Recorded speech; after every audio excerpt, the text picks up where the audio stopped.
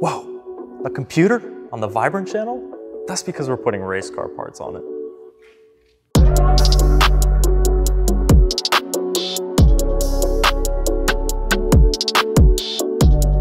My name's Troy, and I'm from Vibrant Performance, obviously. I'm usually behind the camera or on social media. You've probably talked to me in the DMs. I've maybe posted your car. So outside of my job, I build computers and I build cars. I have a Subaru WRX myself. It's fully built. And what I've always dealt with is super hot components and cooling is always an issue. When you build PCs, the exact same thing happens. We use really hot components and we put it into really tight spaces. The nice part about working at Vibrant is I have a huge arsenal of parts to basically cool this thing. So we have a full catalog section of just fluid delivery, AN lines, fittings, dry brake connectors, and we have oil coolers. Throughout this series, you're gonna see us putting this all together in this crazy looking case, and we're gonna show you how.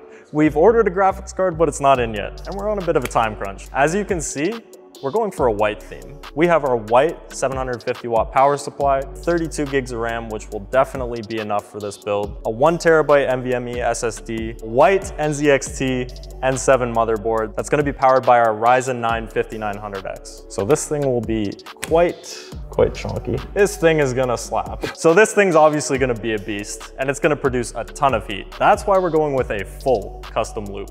We've got our N7, if I can get the box open this time, please. There we go. And we're gonna pull that guy out. Now we're gonna pull out our Ryzen 9 5900X. This is a big, big old processor. You're gonna lift the little latch, line up the triangle, set it in there nice and nice and easy. Slam it down, installed.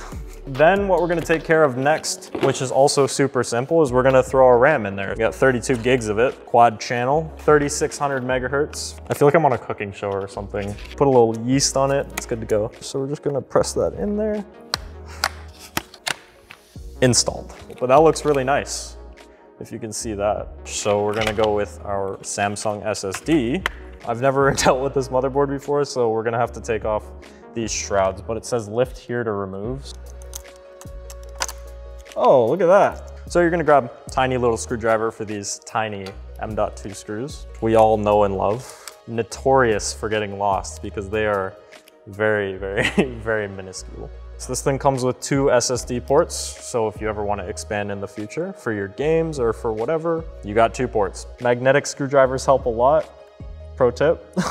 and that's, that's in nicely. Never to be seen again. We're cooling it with our components. We're liquid cooling it with uh, oil cooler cores, AN lines, all that, even dry brakes on this thing. What? what? Yeah. Yeah. You're building a, co a computer Yep. that's going to be cooled using our components. Yeah. We finished putting everything on the motherboard as you can see. Ryzen 9, our RAM, we have our SSD in. And that's pretty much what you can do outside of the motherboard before you put it inside your crazy chassis at home. So obviously I've changed shirts. It is a different day. We were missing some hardware, so I brought some from home, which I somehow just had on hand. We've got the motherboard all set up and we're gonna be putting that in the case today. I'm gonna disassemble all the panels so it you know, gives me a bit more room. It's all like CNC'd aluminum, which is super nice. Without all the side panels on, this thing's kind of just a rectangle on an angle. It makes it easier to lie down on its side. Sweet. Put those in there.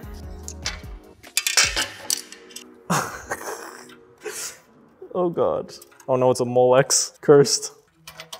Yes. So now we have the, the bare chassis. You can remove the back panel from this. I just figured this out now. I'm talking like I've known this the entire time, but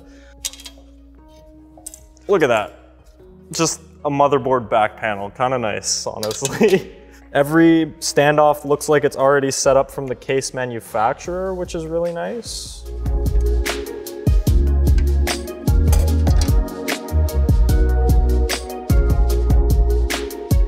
Now we have to reassemble the case. Ooh. Maybe this isn't the way it's supposed to be done, but I don't care. I know it seems sketchy, but don't worry, it isn't.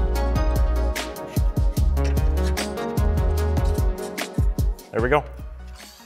Motherboard in. Strange, but I like it. I think having all the panels off will make liquid cooling management a little better. I know this isn't exactly what you guys come here to see, so in the next episode, we're definitely gonna be taking these Vibrant products and putting them on this Vibrant computer. So this intercooler core, this tiny little guy, we have to add some bungs and some end tanks, but uh, I can't weld. So we're gonna get our experienced welder over there, Aaron, to put this together with some nice Vibrant weld bungs and we're gonna run some AN lines to it. To make his end tanks, he's gonna be using this square tube, which I have no idea what he's gonna do, but uh, it'll definitely be interesting, so be sure to tune in for that. Don't forget to like and subscribe. Yeah, all right. Don't forget to like and subscribe. If you have any questions, leave them down in the comments below and I will be sure to get back to you. See you on the next one.